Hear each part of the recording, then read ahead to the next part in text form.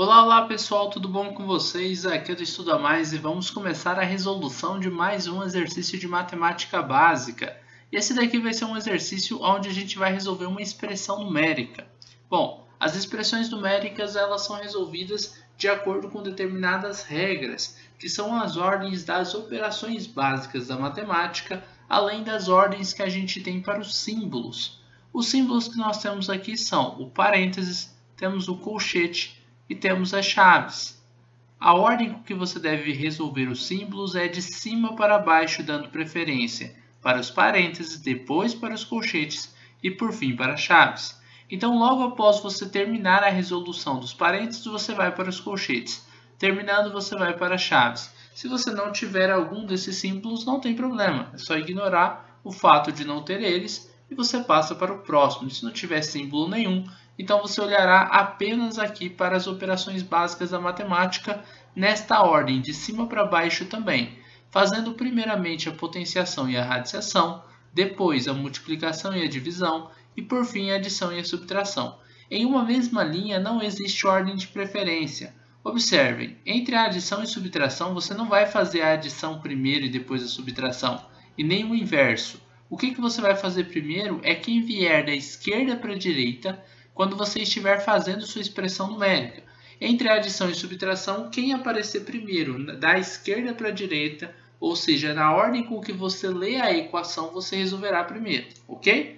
Então vamos aqui fazer uma expressão numérica, que será o número 3 multiplicado. Aqui eu vou abrir a chave, vou colocar um 4 ao quadrado, menos, vou abrir aqui o colchete, o número 5 multiplicado por 2 elevado ao cubo, mais o número 7.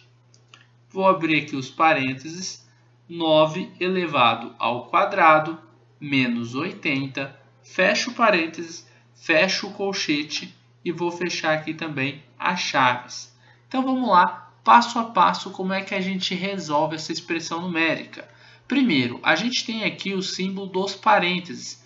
O símbolo dos parênteses tem preferência sobre o símbolo dos colchetes e sobre o símbolo das chaves.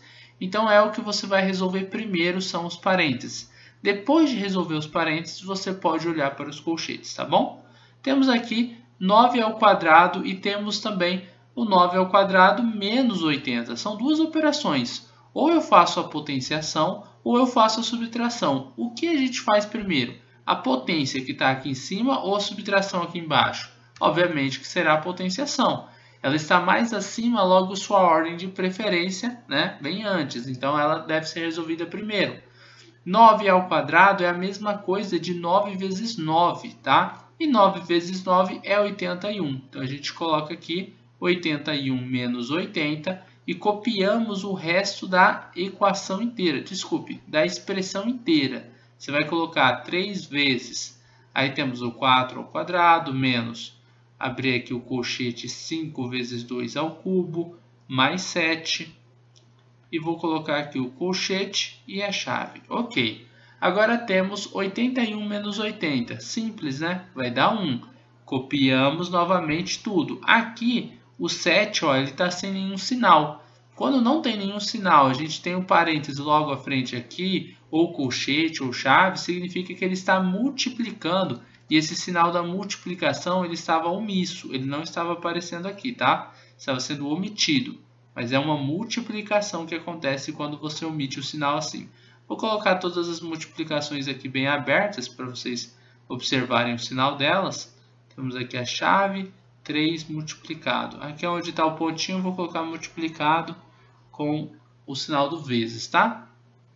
Agora a gente vai resolver o nosso colchete. Dentro do colchete eu tenho uma multiplicação, eu tenho uma potenciação, eu tenho uma adição, eu tenho outra multiplicação. Quem tem preferência? Multiplicação, adição ou potenciação? Potenciação, depois multiplicação e por fim a adição, tá bom? Então, primeiramente a gente vai resolver essa potência. 2 ao cubo é a mesma coisa de você fazer 2 vezes 2 vezes 2. É você pegar o número 2 e multiplicar ele por ele mesmo três vezes. 2 vezes 2 é igual a 4. 4 vezes 2 é igual a 8. Logo, 2 ao cubo é igual a 8. e você vai copiar o resto da expressão. 5 vezes 8 mais 7 vezes 1. Fecha aqui os seus colchetes.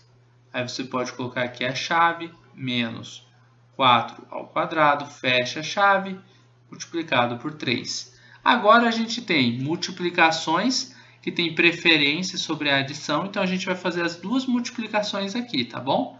5 vezes 8 e você vai fazer também o 7 vezes 1. Pode fazer os dois ao mesmo tempo? Pode tranquilamente, tá?